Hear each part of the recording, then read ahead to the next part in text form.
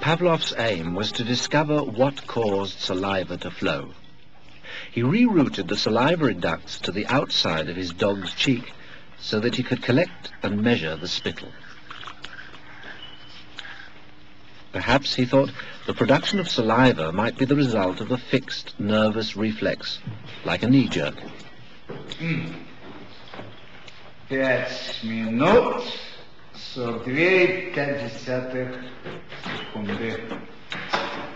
after taking many measurements of spittle, he confirmed that the dogs drooled automatically when their tongues touched food.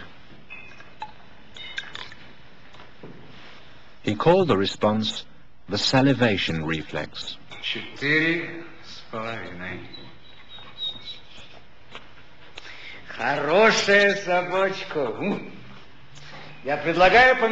But his work started to run into trouble. As his dogs became familiar with the experimental routine, they started to fill their cheek tubes before Pavlov had a chance to stimulate their tongues. The dogs were learning to anticipate food. Pavlov tried a new technique. He erected screens so that the dogs couldn't see what was going on. Before passing meat through the hatch, he introduced a stimulus that was totally unrelated to feeding. A ticking metronome.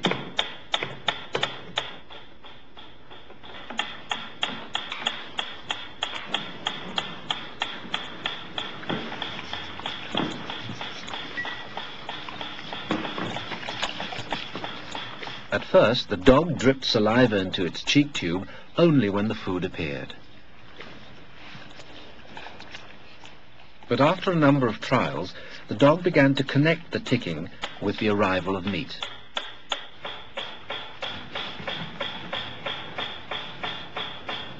Soon the sound alone made the dog drool.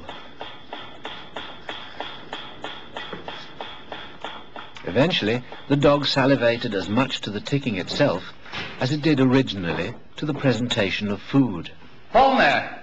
Идите сюда. М?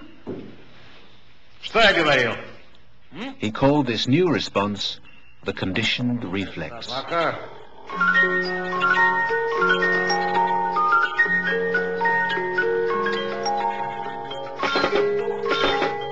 Whatever the stimulus, his dogs could soon be conditioned to produce saliva.